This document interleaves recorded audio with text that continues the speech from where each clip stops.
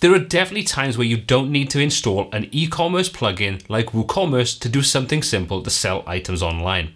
Today, I'll show you a new addition to dynamic content for Elementor that helps bridge the gap. The new PayPal for Elementor Pro feature adds the ability to easily add PayPal payment options to any form created inside Elementor Pro. Now, before we take a look though, I do just need to let you know that this is a sponsored video by Dynamic Content for Elementor. So I won't be giving you any opinions on anything covered, but if you like what you see and you want to find out more, the link is in the description below. Okay, so that's all the legal stuff out of the way. Let's just get on with the video. So first of all, this is the new feature we're going to be talking about, the PayPal for Elementor Pro form. And what this does is it gives us the ability to add a new element into our Elementor Pro forms that allows us to process a simple PayPal payment. So we're going to take a look at how we can implement this. And let me just show you what I've created and then we'll go through and actually recreate this. So this is going to be an item you may be thinking I want to buy it. We can click go through and take a look at the item itself. So nothing too unusual there. We get to the bottom, we've got this section that tells us how much it's going to cost, and we can simply drop in our name, our email address, choose PayPal or direct debit or credit card through PayPal. And once we've chosen our payment method and filled our details in, we can hit confirm purchase. Now, you're not limited to just having name and email. You can drop as many details as you want inside here, any form elements, including hidden form elements, so we can pass that over to the email that's going to be sent out. Now, because we're using the built-in Elementor Pro form element, we can easily get this to do multiple things, including sending an email out, sending things over to, for example, MailChimp or MailerLite, at which point we could then have an automated sequence that would send out a digital download, for example, and then pull people into a sequence. All done using this option inside Dynamic Content for Elementor. So let me show you how we can go about creating something very similar to this. Now, there are a couple of parts to what I want to show you, but if you want to skip any of this and just get straight to how you integrate this into the form, use the timestamps in the description just to make your life easy. But if you want to find out how to do all this, setting the custom post type, all those kinds of things, stick with me and I'll show you all that. So the first thing we're going to do is we're going to use the free plugin CPT UI and we're going to add in a new post type. We're going to give this a title and we're just going to call this, for example, beers. We're going to give the plural then, and we're going to call that beers, and the singular, which will be beer. Next up, we're going to scroll past all the options until we get to the settings at the bottom and just make sure we have a couple of things set up correctly. First of all, we need to make sure it has has archive just so we can display the actual archive template. Otherwise, we wouldn't be allowed to use that. It's up to you then if you want to set things like hierarchical and so on, where you want to position the menu. And all I'm going to do is I'm going to say this supports title, editor, and featured image. I don't need anything else for this example. So once we've done that, we're simply going to add our post type. That will add that in now to the left hand side inside our navigation, and we can come in and add our custom fields. So we're going to add a new field group. And we're just going to call this beer details. We're going to set this to be post type is equal to, and our new custom post type, which is going to be beer. And that's the rule set up in this. And now we can just create the fields. Now, because we're already using the featured image, the title, and the description as part of WordPress itself, we don't need to add any fields in for those. So I'm going to keep this really, really simple. And we're just going to add one field in, and we're just going to call this beer price. And there we go. I'm going to set this to be a number. Now it has to be set as a number, otherwise this won't work the way you need it to. Okay, so that's everything set up inside there. We can now publish this option and we've created our custom post type and we've also added in some custom information in the form of the beer price. Now once we've done that, we need to make sure before we do anything else that we have all our PayPal details set up inside the plugin. Otherwise, we won't see the options that you can see inside here, which is the PayPal and the credit card buttons. Without those, things won't work. So what you're going to need to do is you're going to come over into Elementor, into dynamic content, and inside there we've got all the things like the APIs and so on, and all the settings for the plugin. If we come into APIs, you'll see that we've got PayPal as an option. You can switch this between Sandbox and Live. I'm using the Sandbox one just so we can test things out if I want to. And I'm just going to drop in my Sandbox client ID and my client secret, save the API, and that is everything done. Obviously, if you were using the Live option, you'd have to put in the relevant live details. So make sure you have the right options or both inside there if you want to test things out and then go live. Save the API and then you are done. Okay, so the next thing I want to do is just add a new beer in. So we're going to say add new, and we're just going to give this a title and add some basic details. So we're just going to call this beer kit. We'll drop in a basic description. We'll add in a featured image, which is the same one. And finally, we'll set the price on this. And this is going to be a full kit. So we're going to say it's $34.99 and we'll publish that. So now we have some content to actually include. So we'll come back out of this and we're then ready to start creating the templates we need for this particular layout. Now we have everything set up, we're ready to start creating the template files that we're going to use for this example. So what we're going to do is we're going to create two template files. We're going to add a new one, and this is going to be an archive, and that's going to be the archive to list all of our beers in this example. So we're just going to call this beer archive, and we'll create our template. Now, normally you'd create something a little bit more unique inside your, you know, you'd set up your custom loop and things like that. Just for ease, I'm just going to show you to use the built-in functions inside Elementor itself. So we're going to skip past these predefined options and we're going to create our own. So we're just going to drag a new widget in. So we're going to come down, we're going to find the posts widget, drag and drop that into here, make a bit of space for this, just adding a bit of margins top and bottom. Once we've done that, we're going to change the query that's going to display this and also the skins. We're going to set this to be the cards skin. We'll change the quality of the images to make those just a little bit higher quality. And you can configure this any way that you want to. Like I say, this is more about how you use everything. So let's just hop into the query section. And from there, we're going to make sure that the source is set up correctly. To do that, all we need to do is change the source from posts, and we're going to set this to our custom post type of beers. And that will then show us the beer kit. Now, you might be wondering, why am I using the post widget instead of the archive widget? And there's no real reason other than the fact that I think the post widget gives us more control over how things look over the archive widget. So other than that, there's no real big, massive differences. I just prefer this. It gives a bit more control over how things look and things like that. So, that being said, let's just hit publish. Everything is in place. We're going to add our condition and we're going to change this from all archives to only show up for the beer archive, which is our custom post type.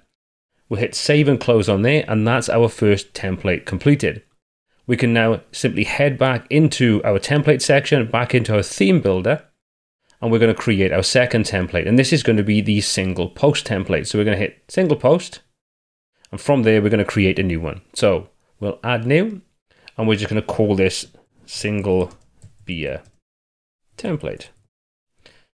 Create our template. Now we're going to use one of the predefined layouts on here just for speed, but you could create this from scratch if you want to. And I've got tutorials that'll show you how to use all these features in more detail if you're new to working with creating custom post types and things like that. Okay, we're going to keep it really simple and use this option. So we're going to insert this template. We're going to let that install and we're going to get rid of a couple of things that I don't want on here. So we're going to get rid of this and we're just going to simply get rid of the comments section at the bottom. And we'll delete that from there. Okay, so we've got our content set up. If we want to just make sure this all looks the way we need it to, let's head to settings in the bottom corner and change our preview settings to, first of all, display beer. And then second of all, we're going to change this to just type in the word beer, and we're going to use our beer kit. So at least that's going to show us some data that's real and relevant when we're designing things. Okay, so sometimes you might notice that things don't show up the way you expect it to, like the image and so on, but it will show up later on, so don't worry about that. Okay, so what we're interested in doing now is just dropping in the form element. So let's just find the Elementor Pro Forms element, and we're going to drag and drop that underneath this section. So that's just dropped in a form. What we're going to do is going to select it. We're going to get rid of the message in this example and keep it really simple and just use the name and the email. So with that in place, we're going to do one other thing that I just find it useful to just make sure that all the data is being pulled through correctly. We're going to add a title above this section. I'm going to drag and drop that in there and we're going to change this over and we're going to just add in some dynamic data. So click the dynamic tags option. We're going to scroll right the way down until we get to ACF fields and inside there, we're going to then click on the wrench icon. We're going to find the field that I want, which is the beer price. We're going to select that, hop to advanced, and we're just going to say buy now at, and we're going to put the pound sign in. This just allows me to make sure that everything is displaying the way I need it to. So that we can see the price is being pulled in, so the dynamic data is being pulled in. We know that's all working okay. You can style this as you see fit. Okay, the more important thing though is let's just select the fields we've got inside the actual form element again, and let's just start setting this up. So we can just disable the labels on there. And what we're going to do is we're going to just add in at least one new item. So we're going to say add new, and we're going to choose the type. Now, because we've got dynamic content for Elementor installed, we have some new options inside here. You can see there's quite a few different things, and what we're looking for in this example is PayPal. We're going to select that option and you can see that immediately pulls in these two icons or buttons. Now, if you don't see these, that's probably going to say that your API information for either your sandbox or your live account have not been set up correctly. So go back, double check all your details are correct, and if you need to update that information, you can do that inside the settings for dynamic content for Elementor. Providing everything is okay though, you will see these buttons available to you. So now we can configure exactly the same way we would with any other form element inside the forms section of Elementor Pro. So we can give it labels if we wanted to, if we were displaying labels. You can specify whether it's required, the transaction currency, and so on. Now, there's a couple of things to bear in mind. If you're using the PayPal sandbox, you have to set your transaction currency at US dollars. If you set it to any of the other options, you may find that things don't work the way you expect them to. But this is only inside the sandbox. On the live setup, you can choose whatever transaction currency you want to work with that's native to your country that you're working with. Okay, so we're going to leave that as US dollars for this example. Label, we're going to leave that out. Now, the item you can see is currently no name. Now, we need to pass over some dynamic data, and this is where we can start to use the dynamic tags again. So let's just change this, and we're going to just come down and say post title. So we know now that's going to pull in the post title for this particular item. In this case, our beer kit. But because it's all dynamic, when we create more items, they'll all be updated accordingly. So this is where dynamic tags really do come into their own. So item value, same again. Dynamic tags. This time though, we're going to scroll down until we get to ACF number field. And then we're going to click on the little wrench icon and we're going to change that key to be a price. And this is why I was saying earlier on, it's important you have to set this up as a numeric field. Item description, I'm going to leave that blank for now, but you could drop in anything you want. If you want to use dynamic data, you could do just that. And the same goes for the SKU code. If you have SKU codes that you associate with the items you want to sell via your site, just set that up dynamically through there. But like I say, you don't have to do this dynamically. If you wanted to just set this up as a one-off on a page manually, you can just fill out all these values by hand and that information will still be passed over in the same way you would expect it to. Then you've got your order approved message, which again, you can fine tune this if you want to for yourself. And you can configure anything else you want inside there. So that's the basics. We hop over to advanced. You can now set things like up like your ID. So I would prefer to set this up and just call it PayPal just so I know that the ID is then unique. So there we go. There's a shortcode if we wanted to reference that anywhere else. Okay, so let's just drop in the label there and just call that PayPal as well, just so we've got some info inside there. And it names it inside this section. Just makes our lives a little easier.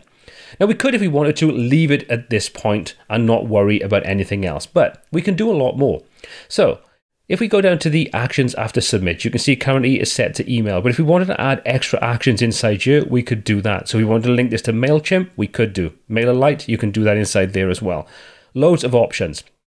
Now, if you saw my last video on how you can use the PDF feature for signatures, but also how to set up a PDF to be automatically generated as part of dynamic content for Elementor, you could set that up as another action inside you, create your template, and then link all the data up so you can send out a PDF invoice to the purchaser via email. Loads of really cool options. So you can stack these up as you see fit, however you want to. If you want to set a redirect up, you can do that as well. We're going to keep it really simple though and just leave the standard email action inside there. If we come to email, you can see there's all fields. So any fields we create inside the form fields element, will be transferred over via the email option. So that's pretty cool to see. We can do all that. So we're going to drop in a little message and say, thank you for your purchase, the details of your order, and then we can have all the details output. Okay, so let's just change a few other things. The two, that's perfectly fine. We'll leave that on there. We'll change this to new order, beer ink. And then you can set up any form information you want. So the reply to, for example, would make more sense to have the email field inside there. The form name, you could set this up to purchase or you could set it up to dynamic tags, whatever you want to do. You can set all these up as you see fit as well. There we go. So that's at its basic. We could leave it at that point. And that would be fine if all you're doing was selling one single item. But because we're dynamically generating this, and there could be multiple items, could be hundreds of items, you need to set a couple of other things up. So we're going to come back to our form fields and we're going to add in a few hidden fields. So we're going to add a first item. We're going to change this from text and we're going to find the option for hidden. And then we're going to assign this some dynamic data. So we're going to say, first of all, the label is going to be, I'm going to do is going to this a label of product. come to advanced and inside there, the default value, we're going to change this over then to the post title, which is going to be the title of this particular product. And if you want to set the field ID, we could do that. So we could just say, let's just keep this really simple. We're going to call field underscore product. We'll just position that then above. And we can duplicate that if we want to, and we could just then edit this. I'm going to change this from product to price.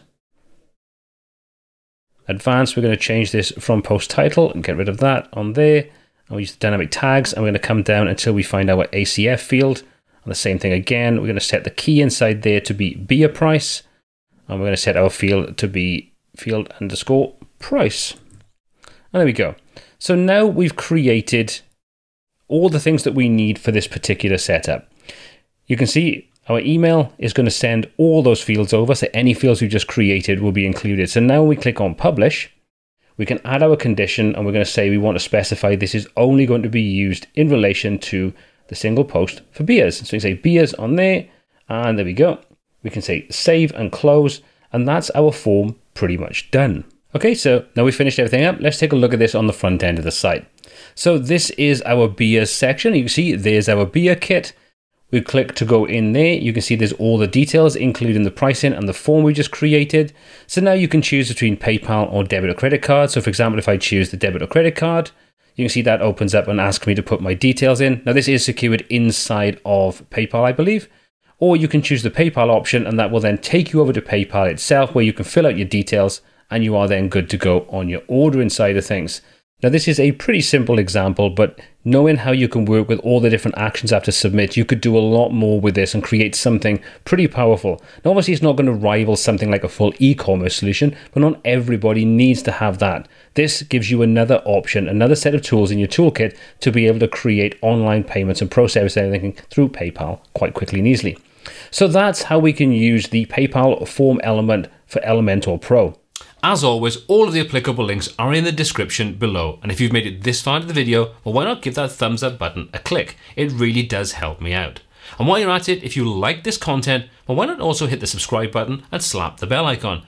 But if you didn't get value from the video though, well you can hit the thumbs down button twice, as that works pretty well too.